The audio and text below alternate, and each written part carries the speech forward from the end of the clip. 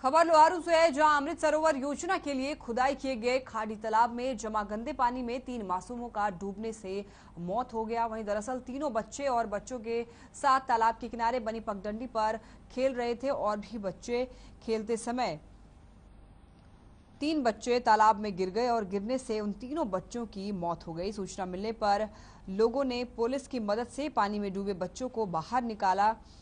हालाँकि पानी काफ़ी कम था, लेकिन उस दलदल में फंसकर तीनों बच्चों की मौत हो गई। जब तीनों बच्चों को अस्पताल लेकर लोग वहाँ पर पहुँचे तो डॉक्टर ने उन्हें मृत घोषित कर दिया जिसके बाद थाने के पास शव रखकर ग्रामीण वहाँ पर बैठकर जमकर उन्होंने बवाल काटा जिसके बाद प्रशासन के अधिकारी धरने पर पहुँचे। भाई। सूचना मिली थी तीन बच्चे एक जो जोहड़ जो निर्माणाधीन है गाँव का गंदा पानी उसमें आता है उसके अंदर डूब गए हैं, जिसमें सचिन, कपिल और लखन।